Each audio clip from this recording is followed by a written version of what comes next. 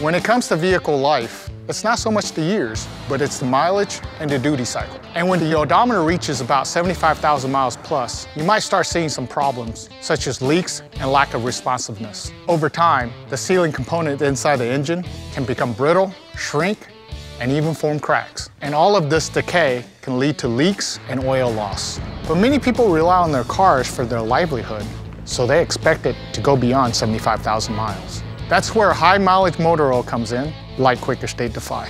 Quaker State Defy has zinc anti-wear agents to help protect high wear surfaces inside the engine. Quaker State Defy High Mileage also provides thermal and oxidative stability to reduce oil burn-off. It is also formulated to help recondition dried up seals and help control internal and external leaks. So just because you have extra miles on your ride doesn't mean it's done. It just needs a little extra care. So we hope you really like your car.